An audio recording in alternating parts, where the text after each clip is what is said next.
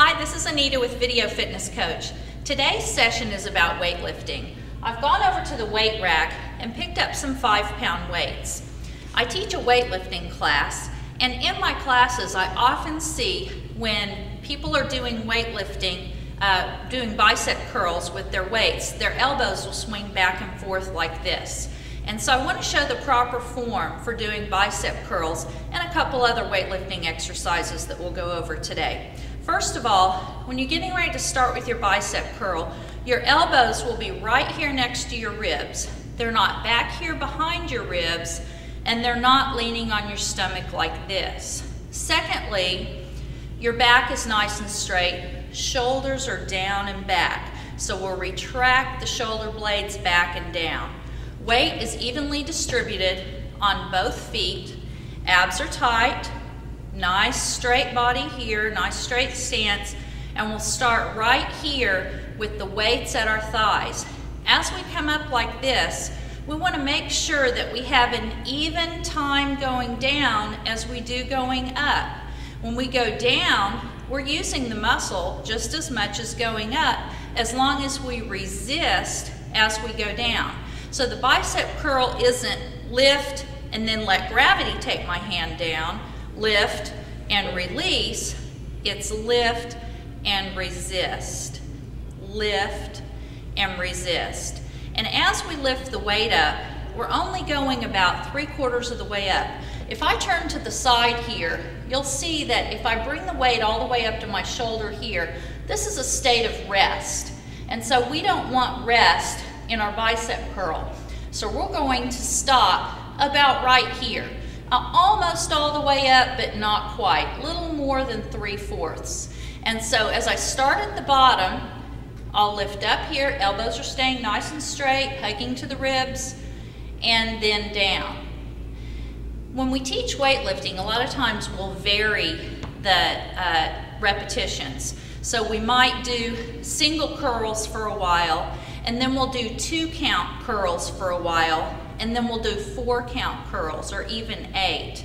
And this gives the muscle a chance to go slow or to contract quickly when we do singles, like this. Another exercise you can do with the hand weights is a shoulder exercise called an upright row. I'll stand here with my feet slightly further apart, starting with the weights right down here at my thighs and pull up close to my body. Notice my elbows come up, up, up, up, all the way to shoulder height, and then release down. And then in this exercise, I also see a lot of times people lifting here and then just releasing down. They'll lift and then they'll just release down. So we need to remember to control that weight going down. Otherwise, you're losing half of your exercise. And we don't want to waste half of our time while we're in the gym, right? We want to use all of our time. When we do upright rows, we can alternate like this or do both arms. At the top, if you will give a slight elbow push to the back, you're getting a little bit more work for the upper back, and then come back down. If we want to work the back anymore, we can do some rows and deadlifts. I'm turning to the side here so that you can see that I'm going to have a nice straight back and then bend over right here at the hips. And in this deadlift, pretend like your arms are just holding dead weight, okay? The weights are just dead in my hands. I'm not holding and lifting them up with my arms like this. I have a nice straight back. I'm gonna bend over, bend over, bend over. Now, the amount that you can go forward will depend on the flexibility of your hamstrings and the back of your legs. Some people can only go here before they start rounding their back to try to make their hands go further down. So it's not how far you go down, it's how far you can go down with correct form. Some people can go all the way over to 90 degrees. This is about as far as I can go right here. And then back up. And as we pull back up, we're going to tighten through the glutes and use the back. So we're going to go down nice and controlled and back up, pulling through the back of the legs and the glutes and shoulders go back at the top. When we do a row, We bend over just slightly, but not quite as far as the deadlift. Pull the weights up like this, elbows go back, and then release it down, and then stand up. And often in a weightlifting class, you'll do more than one row. So you might see three like this, and then standing up, or even more than three. Another exercise you can do with the hand weight is a tricep.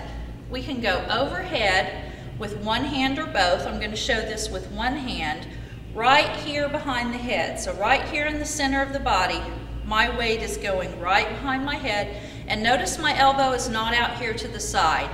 It's right here to the front. The weight goes directly behind my head. And then I'll straighten the arm. The elbow stays stationary right here the whole time. So we'll go behind and lift, behind and lift.